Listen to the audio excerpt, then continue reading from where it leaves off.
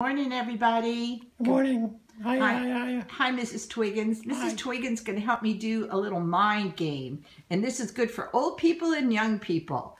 We have to take these quarters and follow the lines to the end. And they're going to start out easy and get harder. But the trick is to try to go fast. You Okay, ready? I can do it. I can Go. do it. Easy one. Good one. Okay. Now start with this Christmas tree.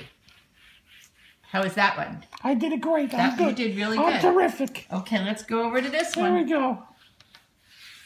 Oh, not bad at all. Yeah. Now we might have trouble. You know why? Why? They're different shapes. Oh, I can do this. Go ahead.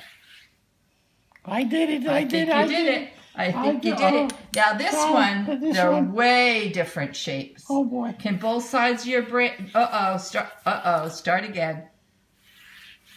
Uh oh. Uh oh. I I, Is it really I hard? can get this. I No. quit. I'm taking my money and I'm going You're home. taking Okay. your money and going I'm home. leaving. Goodbye. Oh, sorry. Thanks for Bye. playing. Help me Bye.